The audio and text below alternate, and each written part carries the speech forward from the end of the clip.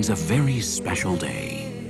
A day which they have all been waiting a long time for, and which our herd of zebras will make use of to cross the river with greater safety.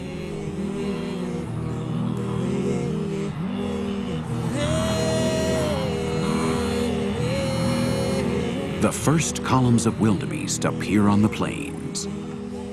The main body of the Great Migration has reached the Masai Mara. Every year, the wildebeest embark on a 3,000 kilometer or 1,850 mile trip that takes them from the Serengeti Plains in Tanzania to the Masai Mara in Kenya and back again. In late January, the wildebeest give birth to their young on the plains in the southeastern part of the Serengeti. From there, the various herds of wildebeest slowly walk westward as their young gain weight and grow stronger.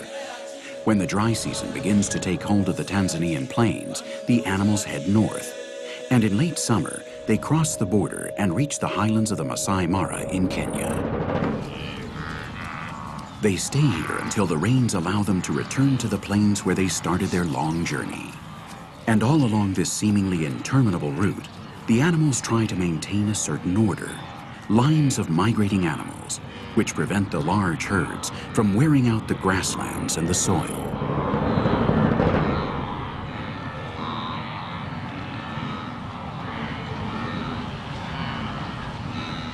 In order to reach the highlands of the Masai Mara Reserve, the wildebeest have to cross the Mara River.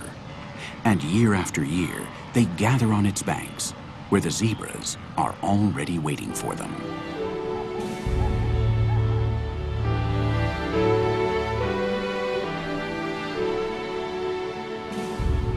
They all share the same destination, and they all share the same goal.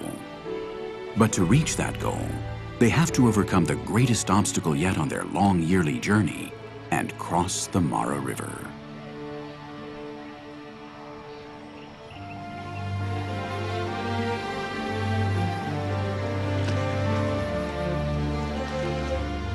The rains falling on the highlands increase the flow of water from the tributaries of the Mara. In the shady spots, the hippopotamuses find ideal places to rest and feed. And the mother that we saw chasing off the crocodiles now cautiously leads her calf into one of these improvised oases. For the young hippopotamuses born the previous year, these seasonal pools are makeshift paradises where they can play. Mm.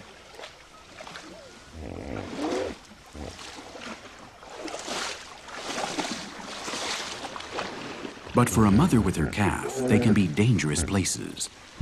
The water is clearer here than in the river's main channel, and the males often drop by to check on their harems, something that alarms every female that has a calf. The males approach the females to see if they are in heat. If a female is in heat, a male will mate with her. But if the female is still suckling her calf, she doesn't arouse his interest, as long as the calf she is suckling is his. If the calf isn't his, the male may try to kill it in order to make the female go into heat again. Mm. And this makes every male in the pod a potential danger to the little calf.